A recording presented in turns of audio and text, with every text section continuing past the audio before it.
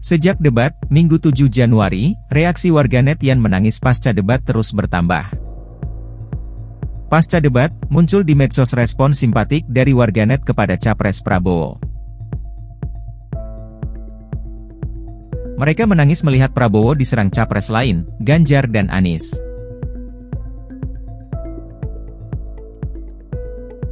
Hingga hari ini, Selasa 9 Januari, postingan warganet menangis tersebut terus bertambah.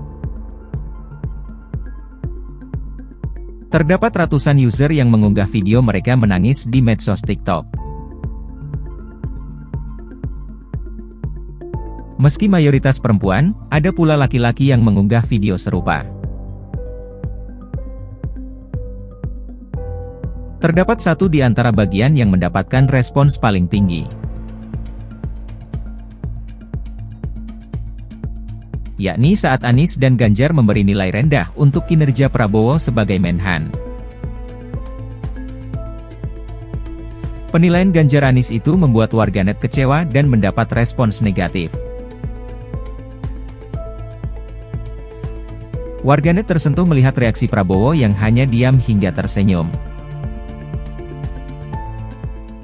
Download Tribun X sekarang, menghadirkan lokal menjadi Indonesia.